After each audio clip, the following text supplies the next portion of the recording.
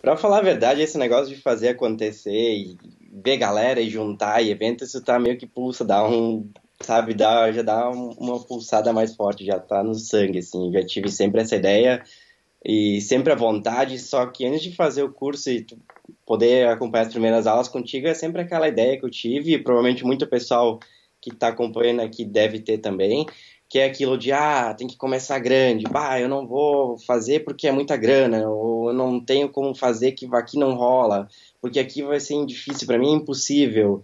Então, eu, eu também tive essa, essa ideia, assim, um pouquinho. Quando eu fui pegando as primeiras aulas, daí, bom, bah, mas essa sacada aqui que ele deu é isso aí mesmo. Aí, de novo, deu, pá, pensando bem, não é tão difícil, cara, vamos lá fazer, vai rolar. E foi assim mesmo, lá na casa onde eu sou residente, são duas pistas agora, eram três.